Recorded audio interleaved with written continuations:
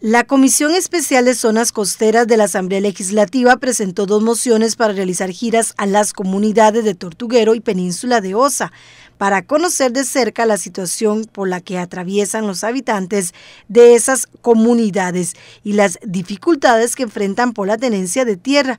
La visita servirá para evacuar dudas y alcances del proyecto del expediente 22.391, Ley para la Gestión y Regulación del Patrimonio Natural del Estado y del Derecho de Utilidad Ambiental.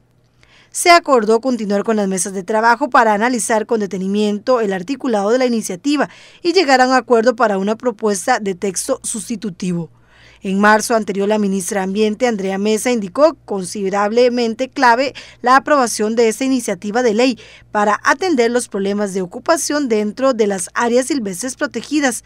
Esto porque esta iniciativa permitirá atender una deuda histórica con las miles de familias que durante años han protegido el bosque en sus fincas, sin poder acceder a los beneficios por su esfuerzo de conservación, dándoles un derecho de utilidad ambiental, permitiendo además el acceso a servicios públicos. Este proyecto constituye un nuevo derecho real administrativo como se le denomina a este derecho de utilidad ambiental, como un régimen jurídico especial para regularizar la tenencia de tierras estatales bajo protección. Con eso se beneficia a las familias cuya única propiedad se ubica en un terreno en un área silvestre protegida o que está constituido por bosques y terrenos forestales de las reservas nacionales.